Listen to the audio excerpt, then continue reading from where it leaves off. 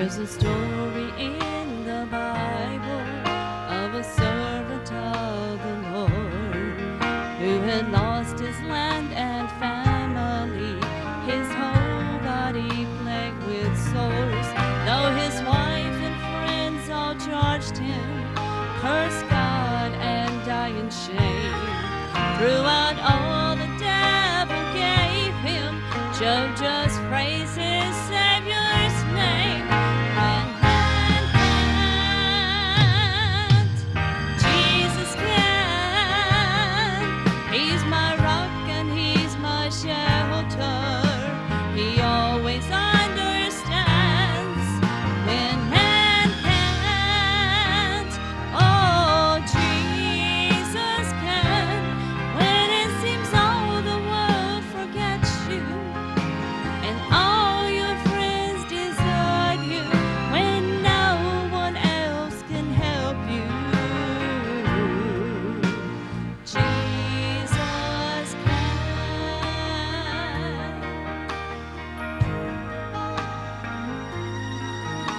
Does it seem as if you're drowning in the daily trials of life?